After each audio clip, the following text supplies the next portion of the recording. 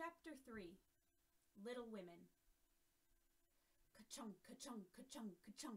Hard plastic, cold metal, a white tunnel. Can't sit up, can't turn over, can't move. Ka-chung, ka-chung, ka-chung, ka-chung. Something shook Alex and he woke. What a crazy dream he'd been having. The big bad wolf, the cyclones, Ebbets Field. He had played an entire baseball game in his dreams, going three for five and helping his team win. He'd gone back to the pink bus with them to celebrate, then fallen asleep on the way to their next game. That's when the dream had shifted, bounced. The next part was hard to remember, but it was more scary. He'd been on his back, trying not to move for a long time, and it had been so cold. Ka-chung! Ka-chung! His world bounced again, the real world this time, not his dream, and he was almost tossed out of his bed. Alex opened his eyes, and Jack Pumpkinhead stared back at him. He wasn't in his bed. He was back on the bus. I'm still dreaming? Ka-chung! Ka-chung! The bus rattled over a pothole, and Alex bounced in his seat again. Sorry about the ride, Jack said. Lester's a better Bible salesman than a bus driver, and he's not really all that good at selling Bibles. Alex didn't have any idea what Jack was talking about. He tried to sit up, but his legs and neck were stiff from curling on the small bus seat to sleep. I thought I was done dreaming. You are. You were asleep for a little while, but now you're awake again. No, I mean, he was still too groggy to explain. Jack, meanwhile, kept staring at him over the back of the seat. Why are you staring at me like that? Alex asked. You made somebody laugh at the wolf. Yeah, Alex said. He shook his foot, trying to wake it up. You made lots of people laugh at the big bad wolf. Yeah, why is that such a big deal?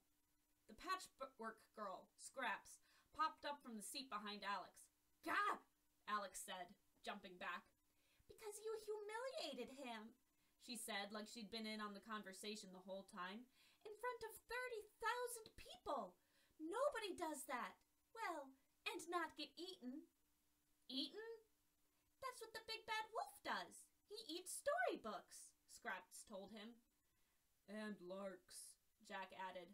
Scraps made a nom nom nom sound like she was eating. But I'm not the one who laughed at him. No, but you made him look like a fool. I wasn't trying to. I was just trying to be nice. Trying to be nice to the big bad wolf. Jack said. He snickered, then quickly put his hands to his mouth. Oh! I shouldn't laugh.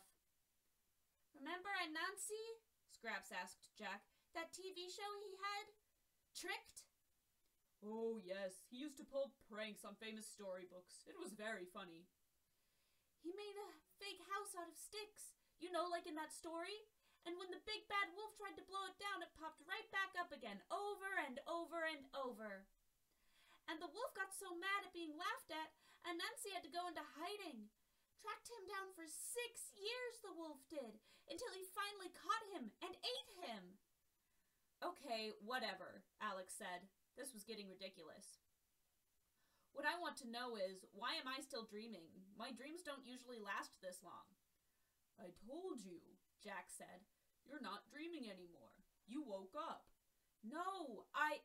Alex said, but before he could finish, the bus driver slammed on the brakes and they were all thrown into the seats in front of them. Dadgummit, Lester! Brer Rabbit yelled. His head poked up from his seat in the back. So sorry, the bus driver called. There was a family of mice crossing the road. He stood and turned, wringing his hands.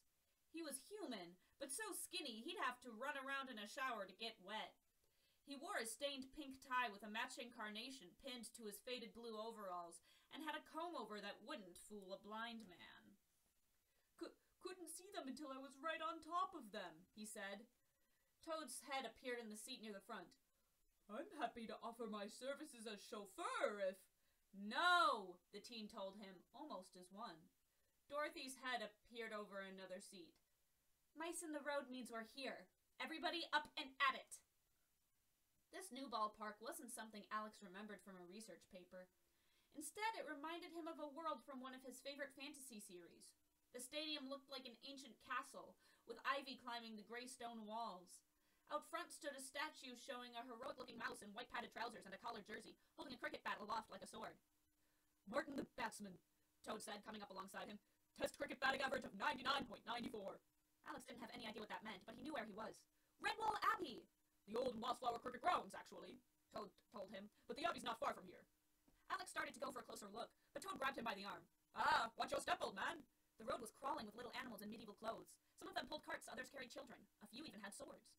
The Cyclone stepped over the locals and went inside the stadium to begin their pregame warm-ups. Dorothy attached a bucket of baseballs to Tik-Tok's back, and he became a walking, talking pitching machine, firing fly balls to the outfielders and ground balls to the infielders. There we go, Kansas! Looking good, looking good! Alex called as Dorothy snapped up a grounder from Tik-Tok. Kansas? she asked. It's a nickname. Nicknames? said Jack. Oh, oh, I want one! I want one! Here we go. Stretch, look alive now. Look alive, Alex called. Stretch! He called me Stretch, Jack said, more interested in his nickname than the ground ball Tik-Tok sent his way, which went bouncing past him into the right. I've never had a nickname before, you know, Jack told the infielders. Not unless Lunkhead counts, Briar Rabbit said from third. Pick it up, ears, Alex called to the rabbit. Let's see some hustle. Tik-Tok fired a ball to Pinkerton in center as the other team came on the field. Alex couldn't help but stare at them. They were all girls. Normal looking, most of them, but all girls. The oddest one had red hair tied in pigtails that stuck out from the sides of her head like she had just licked an electrical socket. She had a little monkey on her shoulder, too, dressed in a blue and yellow jersey that matched the rest of the team. Across the field, Briar Rabbit scooped up a grounder from Tik-Tok and threw the ball on a line to first. Alex didn't see it until the last second. He ducked just in time, and it missed his head and whacked against the dugout wall. Look alive now, golden boy, Briar Rabbit jeered. The Cyclones let the other team take the field for practice. Back in the dugout, Alex sat next to Button Bright. So, I guess you don't need a nickname, Alex told him. Unless Button Bright is your real- Oh, no, the boy said. Don't call me Button Bright. I let Dorothy call that because we go way, way back, but she's the only one. What kind of name is Button Bright anyway? No kid today would take me seriously with a name like that. Yeah, said Alex. I kinda wondered. The name's Saladin, the boy told him. Saladin Paracelsus de Lambertine Evagne von Smith. He offered his hand, and Alex shook it. Wow, you do need a nickname. A new one, anyway. Saladin clawed at his arm like he had the worst case of poison ivy ever. You okay? Alex asked. I've got the itch. No kidding, Alex thought. If Saladin wasn't careful, he was going to hurt himself. All right, everybody, grab your gloves. The Avonlea chicks hit first, Dorothy told them. And remember, play like your lives depend on it. Will do, Kansas, Toad said. Dorothy gave Alex a look that said, thanks a lot, and he smiled. She wasn't too put out, though. Dorothy looked sharp, striking out the chicks' first batter, a brown-haired girl about eight years old who dragged her bat all the way back to the dugout. The umpires hate me, she said. Don't be so tragical, baby, the next hitter told her. Don't call me baby! The girl who replaced her at the plate was another one with red hair and pigtails, but hers didn't defy gravity. They sat next to her head like plain old ordinary pigtails should. Let's go, Cordelia, her teammates called. Get a hit! Alex didn't know any of these characters. He only ever read books about girls that his teacher made him. But whoever this girl was, she was a talker. He could hear her all the way from first. She talked to Tik-Tok. She talked to the umpire. She talked to herself. She even got a hit while she was talking, driving the sixth pitch she saw just over an incredible leap from Toad. When Alex went over to hold her on first, the girl was already talking again. They call me Cordelia, but that isn't my real name, of course, she told him. My real name is Anne with an E. A-N-N-E. We heard you Cyclones were using nicknames and thought it was a splendid idea. Most of us, anyway. The ones with imagination. Are you the new boy? The one who ran into the wolf? Everyone's talking about you. It's a wonder you weren't eaten. What storybook are you from? One of those Newbery things? No, I... Alex began, but she was already going again. A bestseller, then. Something contemporary, but with Greek gods and swords and great battles, I'm sure. Isn't the stadium lovely? I think it's one of the prettiest stadiums we've ever played in. The ivy, the flowers. Mossflower is the bloomiest place to play baseball there ever was. I just love how big and open it is, too. More scope for the imagination, don't you think? You know what I imagined? I imagined getting a base hit to right, and that's just what I did. Not a double or a triple or a home run, mind you. There's no cause to be greedy. Not at this point in the game, anyway. Just a single, a sensible little hit to get things going. You wouldn't think someone so homely and thin as me could hit a ball like that, would you? Well, I... Alex started to say, but before he knew what was happening, the girl at the plate smashed a ground ball between first and second. A ball he would have been able to get to if he hadn't been distracted. He made a half-hearted dive for it and watched in dismay as it bounced into right field for a hit. The talking girl, meanwhile, broke for a second as though she hadn't been in the middle of a conversation and took third before Scraps could get the throw in.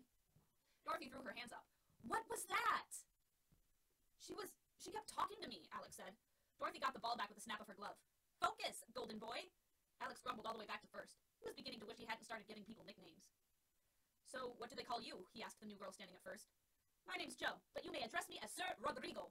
Great. Another head case. Alex wasn't going to get caught talking this time, and he backed off a few steps. The cleanup hair was at the plate, and he wasn't surprised to see it was the other redheaded girl. Her pigtails stuck out to the sides of her batting helmet like wings on an airplane. Dorothy turned and waved the outfielders deeper. Really? Alex asked. That deep for a girl? Beside him, Sir Roderigo huffed and rolled her eyes. Dorothy did everything she could to keep the ball away from the girl with the pigtails. Away, away, away, until she was on the verge of walking her. Whether it was stubbornness or an honest mistake, Alex didn't know, but Dorothy's next pitch was straight over the plate and pigtails made her pay for it. With a swing that would make a major leaguer swoon, the red-headed girl belted the pitch to left. It just missed going over the wall for a home run, but it was just as well. If it had, it might have killed someone in the stands.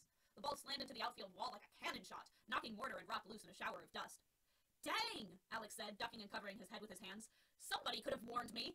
The ball rolled around in left field until Button Bright chased it down, but for some reason he was having trouble picking it up. Wait, had Alex just seen the ivy-covered outfield wall through Button Bright? Was his character a ghost? But no, Alex had shaken hands with him, and he had been plenty solid then. Chicks circled the bases. Button Bright still couldn't get a handle on the ball. Pinkerton flew over from center to help, but by then it was too late. Pigtails had an inside-the-park home run. It's all right, BB, Dorothy called to him. Just hang in there. Alex couldn't believe it. She yells at me for missing a grounder, and all he gets is, it's all right, hang in there? Alex's coach would have benched him for playing like that. Alex caught Dorothy as they were coming off the field at the bottom of the inning. Dorothy, Button Bright, Saladin, we'll be fine, Dorothy said, ending the conversation. Alex threw up his hands. It was her team. Besides, it didn't matter. He was going to wake up any minute now anyway.